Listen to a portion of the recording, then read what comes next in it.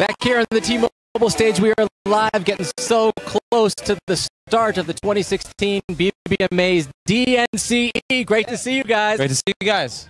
Joe first, and it's so crazy. I rarely talk style with human beings, but this double leather thing, man. Like, thanks, man. How did that come uh, come about? We just were big fans of Moschino, and they sent over these awesome outfits for all of us. So You guys look it's cool. incredible. As if we just penciled it on. So Cake by the Ocean is now platinum. Is that Yeah, right? it's double platinum. Double platinum. Congratulations. How Thank does that feel?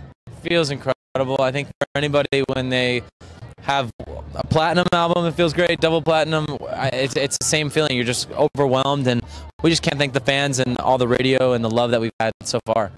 All right, and listen, um, you're playing tonight at the show, and you just talked about, you know, the fans have been so great, obviously, but you could never take that for granted, and you've been doing this a long time. Can you talk about that a little bit?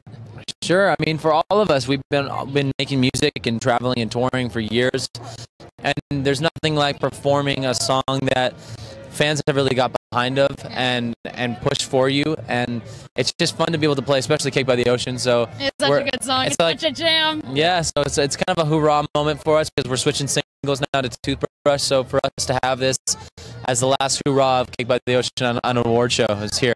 Well, have a great show tonight. Thank you, guys. guys. look fabulous. And AJ, he is with the Go Go's. Go for it. Yeah, yeah. We see you at DNCE. We'll raise you the Go Go's. Ladies, how are you? Woo!